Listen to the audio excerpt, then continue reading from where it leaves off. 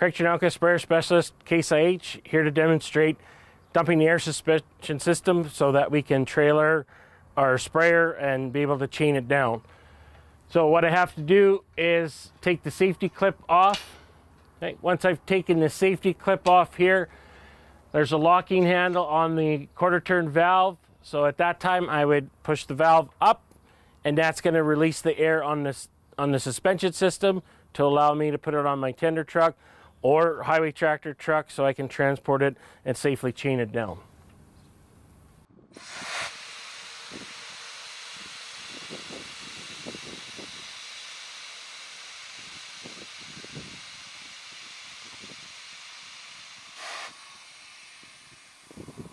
Now that my suspension system is, is fully down, I can chain it down, I can haul my load. I've closed the valve for the air tank now, so I'm going to put reinsert the safety clip back on there. The next process is after I get it off the truck, I'm going to have to air the system up. So being that the valve is now closed, all I have to go in is start the machine up. The park brake can be disengaged or not. It doesn't, it doesn't matter whether the park brake is engaged or not. The air suspension system will fully inflate to our field position.